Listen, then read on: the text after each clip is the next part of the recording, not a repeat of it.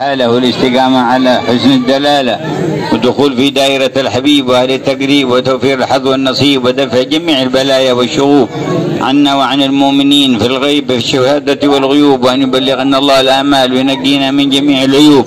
ويكشف عنا وعن الأمة جميع الكروب وينظر إلينا ويرضى عنا ويقبل بوجهه علينا ويصلح صغيرنا وكبيرنا وذكرنا وأنثانا. ويتولانا ما تولى به الصالحين من عباده وداده واختم لنا أجمعين بأكمل حسنى وراض عنا في لطف وعافية. ويغفر المتقدمين في هذه المنازل وهذه الديار وهذه المساكن واجمعنا في دار الكرامة.